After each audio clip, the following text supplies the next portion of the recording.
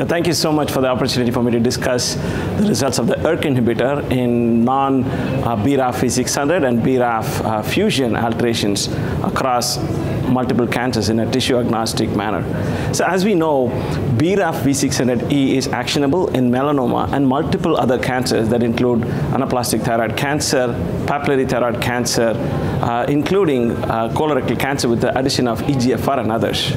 One of the main challenges with the non-V600E alterations and BRAF fusions is that to date, we don't have any of the BRAF V600E specific inhibitors working on them. So in our quest and in our search for targeted therapeutic options, uh, ERK inhibitor has shown early uh, signals of activity across multiple tumor types in the preclinical studies and early phase 1 studies. So because of the compelling preclinical rationale and anecdotal case reports and also uh, some data from the early phase 1 experience of ulixertinib, uh, we designed the NCI match uh, clinical trial as one of the sub-arms of the NCI match study of uh, ulixertinib in non-BRAF V600 alterations, and that included BRAF fusions as well. So we enrolled patients across uh, 20 different tumor types. Again, these were heavily pretreated patients and they had multiple co-occurring alterations.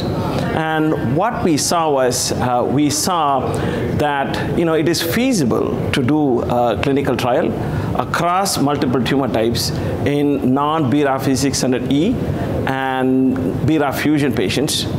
And also we found that uh, ERK inhibitor uh, did not have any activity across multiple tumor types in BRAF fusions and non-BRAF V600 alterations.